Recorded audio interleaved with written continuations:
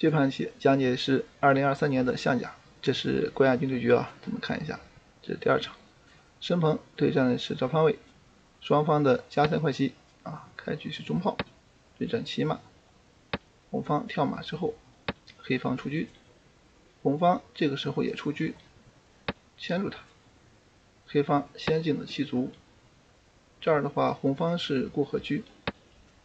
那么黑方正常是上马，啊，他选择进三卒，就是怕这个申鹏的五六炮飞刀呀，啊，申鹏当时是走了个飞刀啊，把孟凡的车给吃了，啊，确实厉害。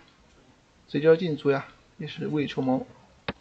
红方跳马，那黑方跳马，红方兵五进一啊，就冲。黑方这个棋他选择招法是飞象，到这儿意思在于呢。如果你吃马，他可以推窝心马，将他飞右金炮打死车啊，这样你还得走啊，他再跳出来，所以这个棋没有用啊。红方他直接就马三进五上了，那这个棋黑方就补了个士，他也没有说是进炮把对方赶走啊。当然你要赶走的话，他一退啊，那这个棋又会形成啊，昨天申鹏对武俊强那个棋啊，走这个炮二进也可以，补士的话也没问题啊。这个时候你要是吃马，人家有个进炮，随时可以串的起啊，倒也不怕你啊。这个棋你一吃，他上马一打，踩掉一吃，把这个一打，他也是个换棋啊。所以到这儿先后去了。红方临场就冲兵啊，正常是上马，黑方也就冲了。这个马他冲上去啊，随时可以卧槽。这里黑方得走车平四才行，暂时是守住了啊。现在这个棋，红方是走了一步拆炮。那从这步棋来看啊，红方暂时啊是攻不动了，他准备连象啊，再补士把车拿出来啊，这个就是文火慢攻啊。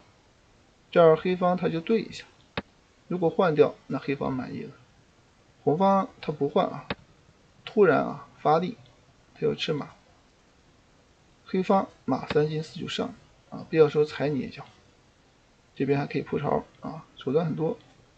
那红方他兵五进啊，不让你去利用它。黑方在这也是非吃不可。吃完以后啊，即便你马七进五啊，暂时也没棋。但是他走出了马七进六。这招棋的意思就是我要踩炮啊，踩完炮还要吃马。那黑方走的一个退马。这步棋的意思在于形成担子炮啊，你还要吃马的话，他有一个退炮打车啊。你也吃不到，那这儿的话，你要是先换啊，打掉你，那这个马上了半天啊，白走了。所以红方呢，感觉子不够用啊，就平炮，要把这车拿出来助攻。黑方的话就平车啊，先吃马，希望你啊表个态。那这儿正常是要飞象的，黑方他是想走一个金炮打车啊，你要是进车，直接吃你的马，给你换掉。你要回去的话，你车暂时出不来。达到一个封车的意思，那红方这时候他就打破常规啊，你吃我的马，我吃你炮，他也不防守了，因为他知道你要封车啊，不让你封。那到这以后就只能换了，换掉以后呀，会形成这个局面。将来这啊，赶快对车，对掉之后我们看到啊，现在你要是打边卒，你炮没了，所以你得飞个象，他趁势退回啊，守住卒营线就行了。所以这个棋啊。车双炮对上车双马，那黑方可能还稍好一点，所以这个棋完全可以下。但临场的话，黑方他没有选择直接吃，而是呢提前走了一步进炮。这个时候可能还是在做梦啊，就认为你这个马回来我打去你不能回，你这个车吃马我进去一吃啊，把你就抓死，给你做一个交换，让你不舒服啊，还想欺负啊，利用红方。不料红方他走了个进炮去对。这招棋是黑方没有想到的，啊，那这个棋你正常对掉，他这边吃掉，看似好像漏了个马给你吃，其实你是不敢吃的，这一吃呀就挂了，啊，红方这个炮一打出去太厉害了，将来强行下底炮啊，跟实战其实是一样的，啊，你现在怎么守吧？如果你推到底线啊，那上去就是一将，对吧？这个棋你吃炮，那一将啊，这个棋把车吃了。丢个车也是一个输棋啊，因为迎面将它可以直视，暂时还将不死，所以吃炮车没了。那你要涨起来的话，这个棋跟实战也就还原了。啊，这一僵之后，你正常一多士啊，那跳马这边就杀你了，啊，所以这个棋你确实是没有办法。所以到这儿的话，这个棋他是没敢吃啊。那不吃怎么办呢？实战黑方是炮九平七了，他是寄希望要把这个车换掉，啊，这构思也确实是巧妙，但是红方这个棋比较霸道，啊，到这儿你即便对车也解不了这个棋啊，所以这个飞刀确实是厉害。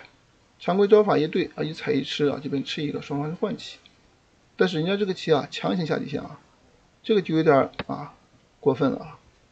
这个棋到底是一样，你刚才说到吃的话，他将一局啊，这边首先吃掉你叫二杀啊，你要是敢保这个车啊，那这边一将这马又不见了啊，吃光了。但你不保的话，这个双车不在啊，那比刚才还痛苦啊。所以这个棋等着输呀，所以他这儿没有办法了。到这里之后，他也是啊，不敢去吃。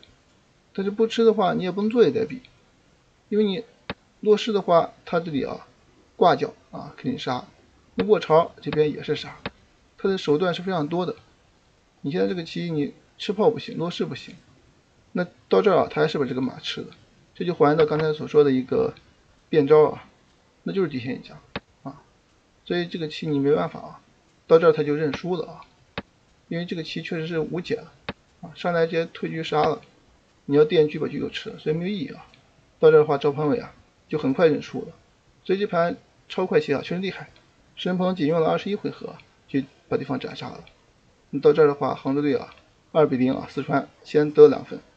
那接下来啊，四川队压力很大呀，看看杭州队啊能否夺冠。